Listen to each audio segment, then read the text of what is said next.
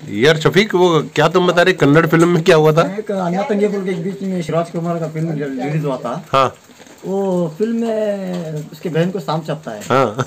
तो वो कहता है कि वही सांप आके उसको बचा लेगा। हाँ। तो रात भर जागरण करके एक गाना हो जाएगा वो। हाँ। पूरा दिन और उजाला हो जाता है तब वो अचानक से वो बच जाती है। अच्छा। हाँ तो मैं बात से सीखना चाह रहा था पूछ रहा था कि लोग ऐसा बोलते हैं। अब रजाक रजाक भाई स्नेक एक्सपर्ट है तो इनसे पूछेंगे हाँ। क्या ऐसा होता है क्या? रुको। रुको इनको पूछते हैं। क्या बोलते हैं रजाक भाई? मैं तो पहली बात ये सोचता हूँ कि ऐसे फ़िल्म बनाने वालों के ऊपर केस करना चाहिए। हाँ। उनकी वजह से बहुत लोग ऐसा करके मर चुके हैं। भाई और एक मैंने भी इनके ऊपर वीडियो बहुत बनाया। जो चपता है बोलो। है वो क्या वो सांप चापता है। हाँ। आके- हाँ तो रजाक भाई तो फ़िल्म में आके मुँह से खून निकाल के भिड़काते हैं तो वो बच जाता है तो सही है क्या रजाक भाई?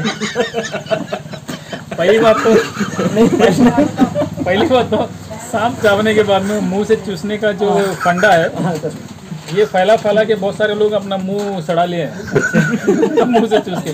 मुँह में अगर कोई घाव गिर रहा है तो उसका मुँह मुँह की वजह से घाव की वजह से उसकी मौत हो सकती वो है। चूसे से वाला भी वहीं पड़े रहता। इससे तो अलावा पड़े सर था।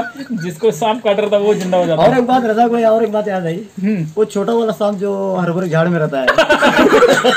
वो जो लोग कहते हैं हर के जा रहा हर भरे में वो लोग कहते हैं कि वो डायरेक्ट इधर ही मारेगा। अरे इधर मारने पर इंसान मर जाता है। सांप का नाम क्या?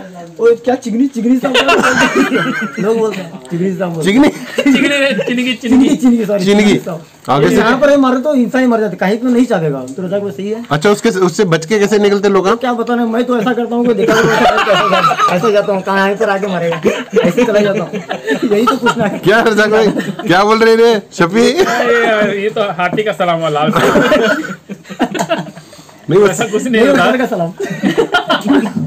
ये ग्रीन वाइन्स नहीं करता ना वो ऐसा लंबा मुँह होता है ऐसा ऐसा जाता ना तो वो हरा और बारीक था बेल के जैसा रहता है। तो जो चने का झाड़ रहता है जिसको हरभोरे का झाड़ बोलते हैं कन्नड़ में। तो वो हरभोरे के झाड़ में रहता है ये बोल रहा है चने का झाड़ जो रहता है उसमें ज़्यादातर दिखाई देता है। तो वो जो सांप होता है सेमी वेनमस रहता है लेकिन इसका वेनम इंसान के लिए कारगर नहीं है। ये सब स्टोरी मनगढ़ंत है और सिर्फ़ इनको डराने के लिए कोई बोला रहेगा।